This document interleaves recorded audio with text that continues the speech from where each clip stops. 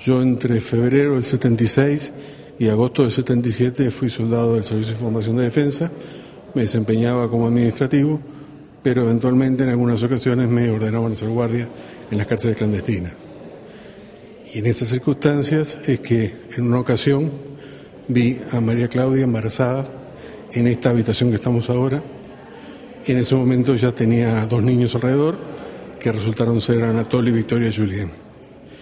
Y unos meses más adelante, cerca de fin de año, estando este local prácticamente vacío, en el salón de abajo donde estaba salón, en la cárcel de abajo donde estaban los, antes los detenidos del primer vuelo, estaba María Claudia con Macarena ya nacida en una canastita y fui testigo de cuando el teniente coronel Rodríguez Burati y el capitán Arab se la llevaron y fue que el capitán Arab dijo la frase, a veces hay que hacer cosas jodidas.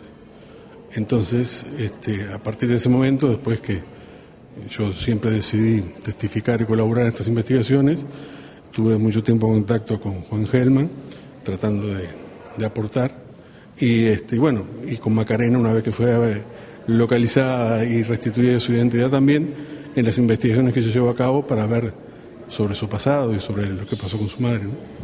Tú y yo nos conocemos de esa época. Sí, nos conocemos de esa época.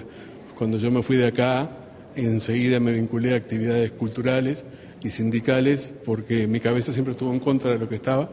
La paradoja es que mientras tú, eh, de algún modo, habías participado acá dentro de un Estado represor y una dictadura, en el teatro independiente hacías el personaje de un revolucionario. Sí, sí, era una gran catarsis poder hacer ese personaje cuando hicimos dirigido por Roberto Fontana La Pasión según nosotros.